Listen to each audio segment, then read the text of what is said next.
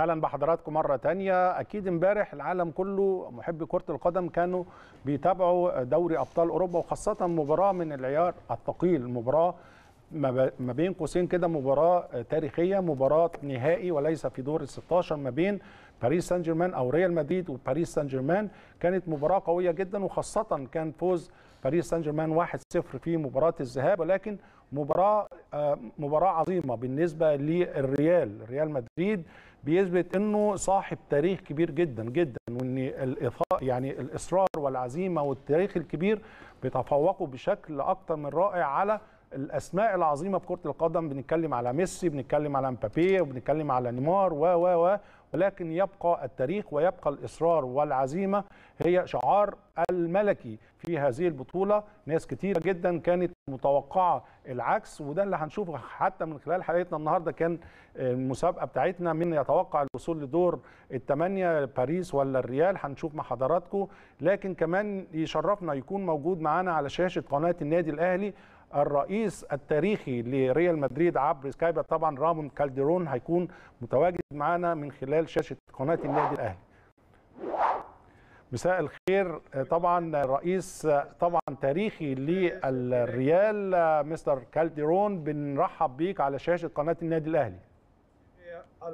على الجميع أنا سعيد بتواجدي على قناة النادي الأهلي أعلم أن الأهلي هو ملك أفريقيا وكبير القوم في أفريقيا ولهذا فخر لي الظهور على شاشته وزي ما انت بتقول الأهلي ملك أفريقيا كمان بنتكلم على ملك أوروبا طبعا نادي ريال مدريد العظيم. عايز أسألك امبارح وانت بتتفرج على المباراة بتنظر لهذا النصر الكبير بنظرة رئيس النادي السابق أم بنظرة من محبي ومشجعي ريال مدريد حول العالم. Uno de los partidos habituales. مباراة الأمس أمام باريس سان جيرمان لعبت في جزئين مختلفين جدا. المباراة الأولى سيطر باريس سان جيرمان بشكل واضح في البارك دي برانس. شاهدت المباراة كمحب وعاشق لريال مدريد قبل أن أكون رئيس. ولكن في المباراة الثانية ظهر ريال مدريد في المناسبات العظيمة. ظهر الريال بعزم وتسليم لا حدود له. الريال أو العظيم في أوروبا وهذه المباريات من خلالها تعلم قيمة الفريق الكبير أنه فريق لا يتخلى أبدا. انظر هذه ذات الأذنين من الصعب الحصول عليها ولهذا ريال مدريد فريق عظيم وإذا لعب الفريق في هذه المباريات القادمة سيكون مرشحا للفوز باللقب لتحقيق ذلك. كما شاهدت ذات الأذنين من الصعب على أي شخص الفوز بها ولهذا الريال عظيم. أكيد زي ما أنت بتتكلم يعني امبارح مباراة بتشير لوجود يمكن يعني عزيمة كبيرة لريال مدريد. لكن خلينا هل مباراة امبارح خلاص بتفتح الطريق ل وجود ريال مدريد لابعد نقطة رغم وجود فرق كبيرة جدا بنتكلم على ليفربول بنتكلم على السيتي بنتكلم كمان على تشيلسي. هل مباراه امبارح هي النقطة الفاصلة لفعلا تحديد أو وجود ريال مدريد أو الفوز ريال مدريد بهذه البطولة؟ Yo estuve casi nueve años en el club. دعني أتحدث بكامل خبرتي لقد كنت في ريال مدريد لحقبة لأكثر من ثلاث سنوات شاهدت أشياء كثيرة وشاهدت وقمت بقلب العديد من اللاعبين من أجل الفوز بطولة دوري أبطال أوروبا ولكن للأسف لم أنجح في ذلك ومن خلال قناة الأهلي قمت بالتعاقد مع فان نيستلروي وروبن. ولا أتذكر قمت بالتعاقد مع 18 لاعب. وكنت قريب من التعاقد مع كريستيانو رونالدو من أجل ذلك. لكن للأسف كانت لدينا ازمه اقتصاديه ولهذا لم اكن بالتعاقد مع ريال مدريد لكن أنا اريد من خلال قناه الاهلي ان احيي الرئيس الحالي لنادي ريال مدريد لأنه فاز بخمسه ابطال اوروبا وهذا امور صعبه يصعب على اي نادي تحقيق عدد هذه البطولات أنتم تعلمون قيمه ذلك لأن الاهلي فريق كبير وفاز أيضا بالعديد من البطولات القارية. ولكن أنا أتوقع أن إذا كان ريال مدريد في المستوى هذا في كل المباريات القادمة سيفوز باللقب.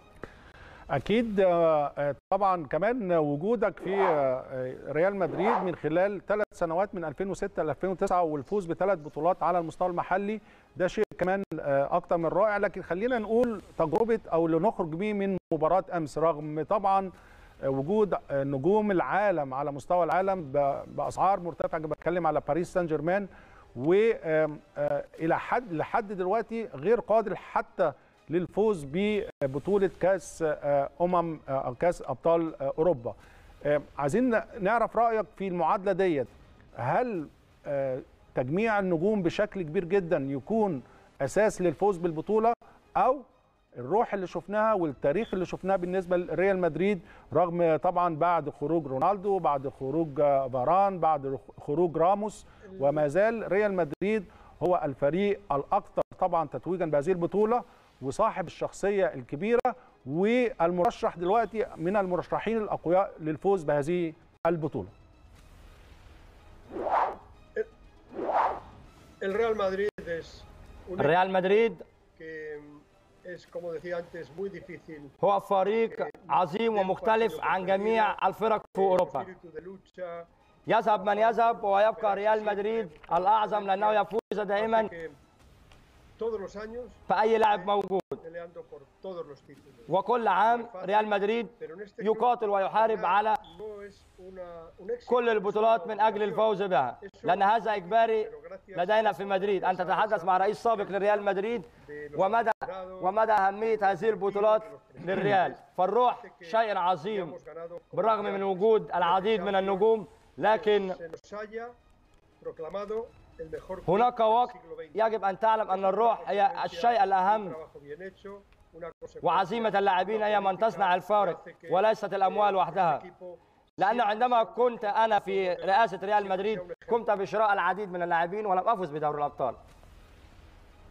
صحيح يمكن هنيجي لجزئية ال- الأموال وأكيد ال- الاستثمار في كرة القدم ويغير شكل أو خريطة كرة القدم خاصة في أوروبا. الاستثمار. هو شايف موضوع الاستثمار إزاي وازاي إيه الاستفادة والدروس المستفادة. طبعا هو عارف ان بلغ خسائر الأندية من خلال السنتين اللي فاتوا بسبب فيروس كورونا حوالي 7 مليار دولار.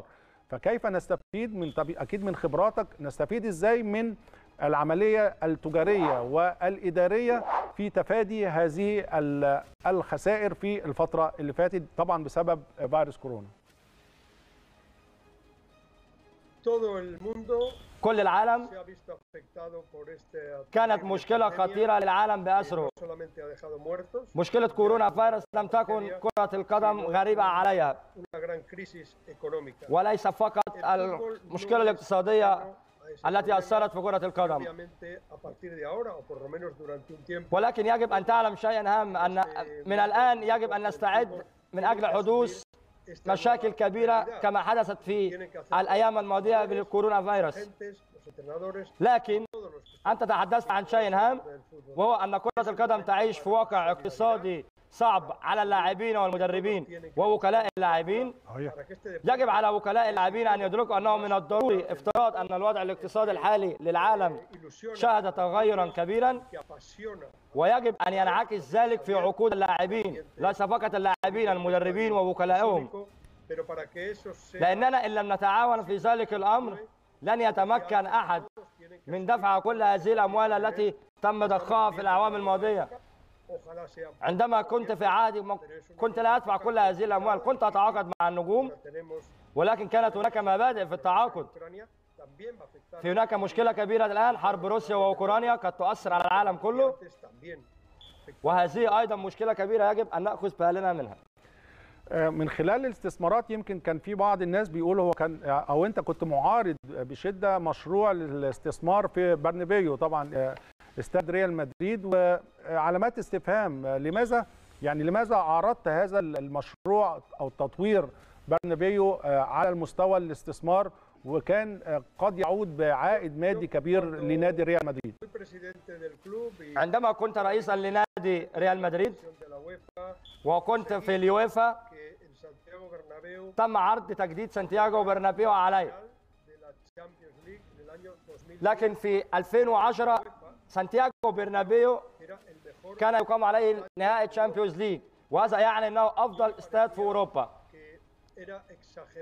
أنا لم أعترض على تجديد سانتياغو برنابيو لكن كانت هناك أشياء يجب أن تتم قبل تجديد سانتياغو برنابيو لكن الرئيس الحالي قرر ذلك وأريد تحيته من خلال شاشة قناة النادي الأهلي. لأنه رجل حكيم راهن على المشروع وقد نجح المشروع وشفنا سانتياغو بالأمس في قمة الروعة وقام ببناء مدينة رياضية كبيرة. أنا لم أعترض ولكن الجميع أخذ بعد تصريحاتي بتحريف.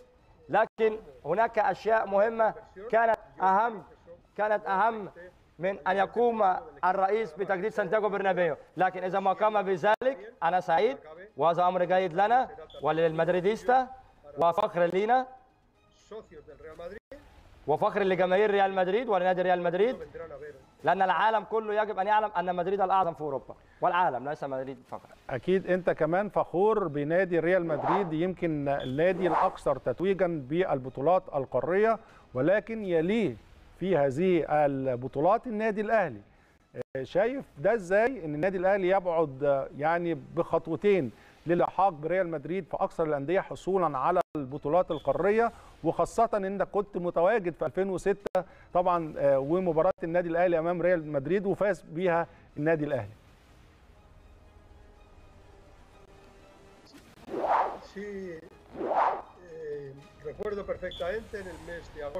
أتذكر ذلك جيدا عام 2001 كانت هذه السنة الأولى لي كمدير للنادي. كانت أجواء احتفالية للغاية مباراة عظيمة. أنا سعيد لأننا لعبنا أمام جماهير واعية وجماهير تعشق كرة القدم. الأهلي فاز علينا بروبرتو كارلوس. وراؤول وكاسياس وفيجو وكثير من كبار اللاعبين. وهذا دليل دعني أعترف لك بذلك على عظمة النادي الأهلي ولاعيبة النادي الأهلي والفوز. هي كانت مباراة احتفالية ودية باعتبار النادي الأهلي كبير القوم في أفريقيا. وكنا نحتفل بذلك. الاهلي فريق عظيم وأفضل نادي في الوطن العربي وفي أفريقيا. وفريق يعرف كيف يفوز. ويجب على جماهيره أن تفتخر به لأن الأهلي له ساع كبير. ومحمود الخطيب رئيس النادي الأهلي الحالة كان لاعبا كبيرا ورئيس نادي عظيم وساهم. عندما كان لاعبا وعندما كان رئيسا في تتويج الأهلي.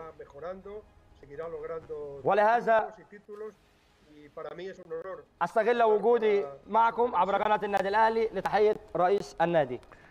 ما فيش شك طبعا وأنت يعني رئيس نادي كبير وعالمي وعندك خبرات كبيرة جدا جدا. دايما نجاحات النادي ما بيكونش نجاحات على المستوى الفني بس لكن كمان على مستوى الإدارة. شايف إزاي كمان هذه المعادلة اللي بيحققها النادي الأهلي ما بين النواحي الفنية من إدارة فنية لفرق الكورة أو فريق الكورة وكمان الأهم كمان على النواحي الإدارية التنسيق عن النواحي الإدارية ده كمان مهم جدا. شايفه إزاي دوت؟ اولا في عامة في الكره الأوروبية من خلال الأندية الأوروبية وشايفه إزاي من خلال النادي الأهلي.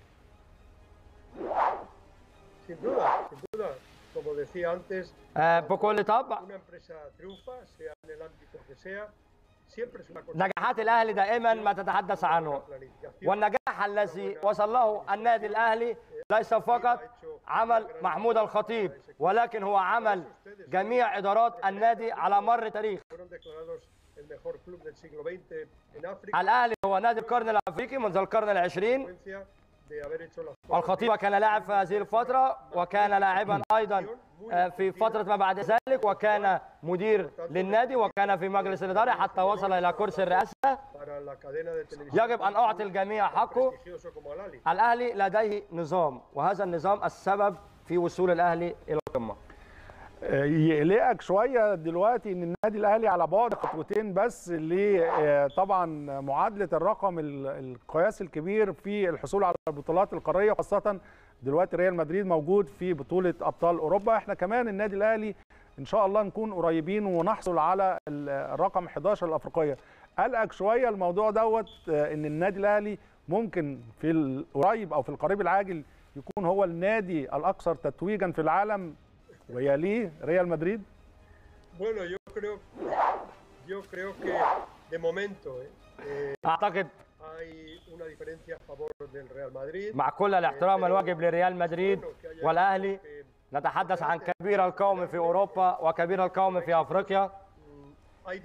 las ligas. من الناحية الواقعية من الصعب أن يتفوق الأهلي على ريال مدريد نظرا لصعوبة المنافسة بين القارتين.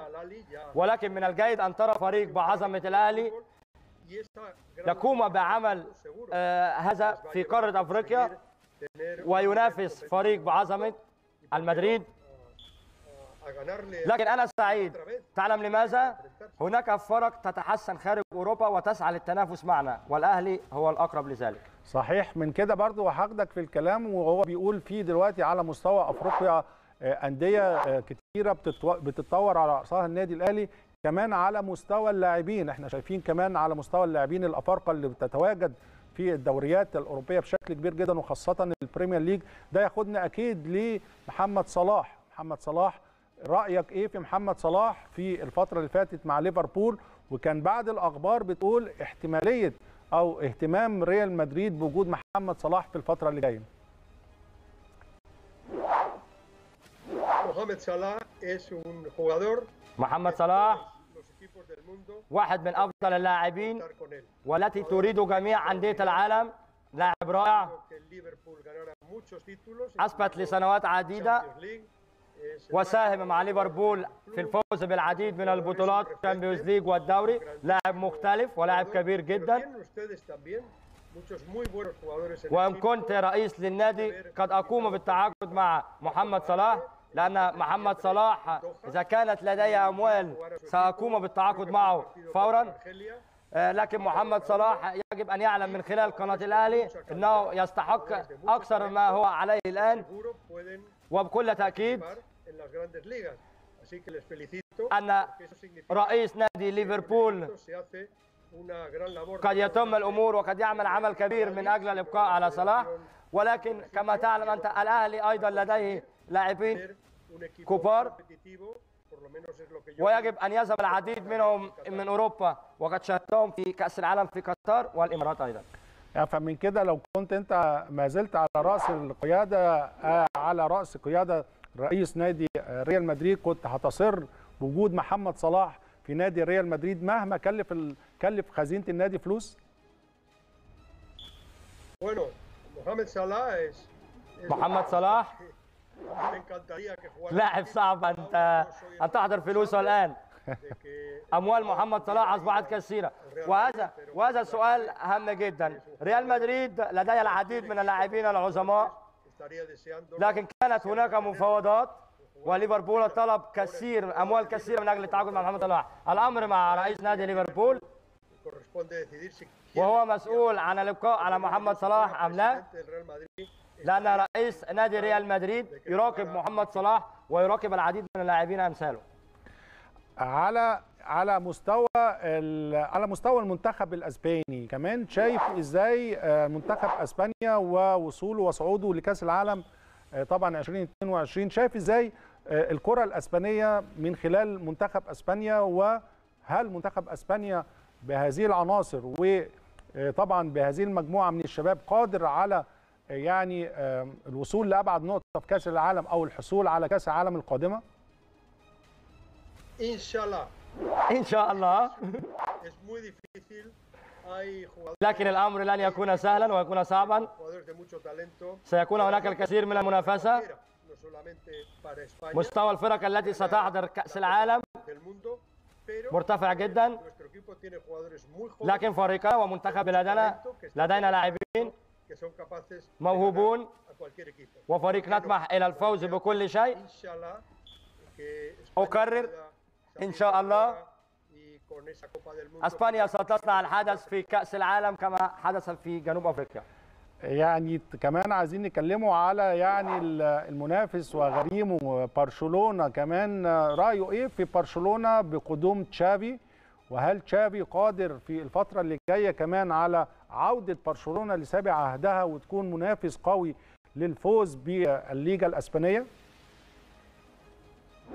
parece, برشلونة parece que ha mejorado mucho. أنا أحترم آه، برشلونة وأقول لك أن تشافي. غير العديد من الأشياء المهمة في الفريق برشلونة دائما يتواجد في المقدمة وسيكون دائما في المقدمة أحترم برشلونة هو منافسنا الأبدي. صحيح أن منافسنا الأبدي في إسبانيا ليس على ما يرام الآن. لكن لديه الكثير من الجدارة ما تم تحقيقه حتى الآن يبقى. فخر أيضا لأسبانيا كما ريال مدريد برشلونة أحد أعظم الفرق وأكون لهم كل احترام. ورئيس النادي صديقي. نحن نتسيد الكرة في إسبانيا بجانب برشلونة وريال مدريد.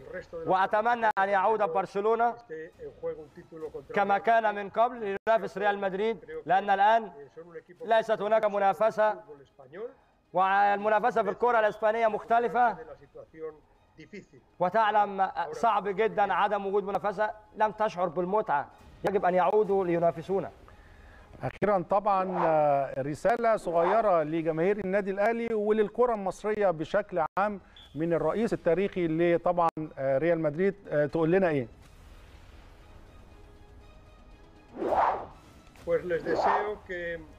كل ما أريد أن أقوله. تاريخ النادي الأهلي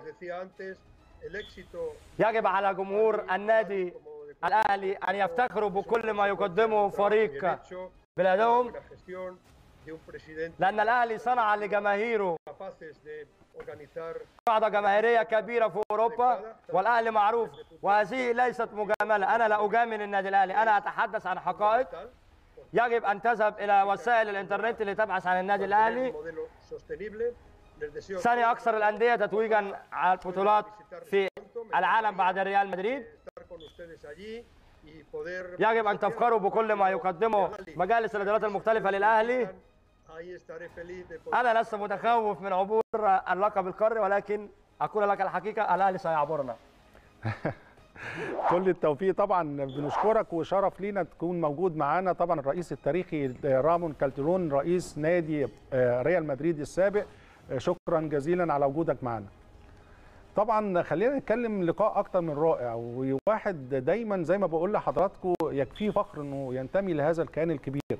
لما رسائل كتيرة جدا زي اللي بيقولها رامون رئيس نادي من أعظم الأندية في العالم وعنده من الخبرات وعنده من الدراية الكثير ويشيد بالنادي الأهلي بهذه الطريقة وبيقول إن النادي الأهلي آخر كلمة قالها إنه يتوقع إن النادي الأهلي كمان هيتفوق على ريال مدريد في البطولات القارية. ده شيء يدعو للفخر يدعو الجماهير النادي الأهلي إنها تفخر بناديها إن بمجلس إدارة النادي الأهلي إنه بيفخر إنه موجود في النادي الأهلي بالأجهزة الفنية باللاعبين. إحنا كمان آه، يعني بنسعد كثيرا لما الشهادة بتيجي من بره. دايما بيقول لك لما الشهادة بتيجي من القريب يقول لك يا عم أنت بتطبل أنت أنت. لكن لما شهادة به- بهذه المعاني الكثيرة من رئيس آه، نادي ريال مدريد السابق ذو الخبرات الكبيرة. أعتقد ده شيء يدعو للفخر دايما النادي الأهلي مشرفنا ودايما بقول النادي الأهلي خلاص وصل للعالمية. لما بنتكلم إن النادي الأهلي وصل للعالمية ما حدش يتريق علينا ما حدش يقول لك يا كابتن أنت بتبالغ. لا الكلمات اللي جاية من أسبانيا من خلال رامون كالديرون رئيس نادي ريال مدريد السابق بتثبت دوت. وجود النادي الأهلي دايما في كأس العالم للأندية وحصوله على ثلاث برونزيات بيثبت دوت. كل الناس وعمل مجلس إدارة النادي الأهلي على مر العصور بيقول دوت. فزي ما بنقول الحمد لله على نعمة الأهلي آه، والأهلي فوق الجميع ودايما يا رب آه، بالتوفيق وبالنجاحات. وإن شاء الله البطولة الجاية إن شاء الله يكون ال11 ونقرب أكتر من ريال مدريد ونحقق اللي قاله رامون كال- كالديرون إن النادي الأهلي سوف يتعدى ريال مدريد للحصول على أكتر نادي في العالم حصول على البطو- البطولات القارية إن شاء الله قريب. نروح لفاصل سريع ونرجع نكمل مع المحترف.